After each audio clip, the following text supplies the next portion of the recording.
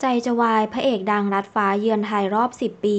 หล่อออร่างานแตก ช็อตนี้อิจฉาเจ๊ไฝทั้งประเทศ เกือบครบทศวรรษที่ซุปตา หนุ่มแดนกิมจิ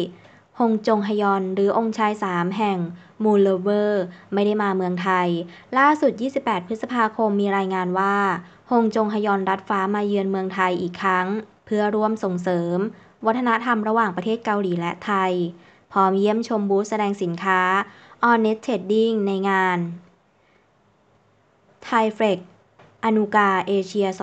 2024 ที่ศูนย์แสดงสินค้า และการประชุม Impact เมืองทองธานี งานนี้แฟน ๆ ที่ได้พบเห็นฮงจงฮยอนต่างตกตะลึงกับออร่าความหล่อของเขา ที่ไม่ว่าเวลาจะผ่านไปกี่ปี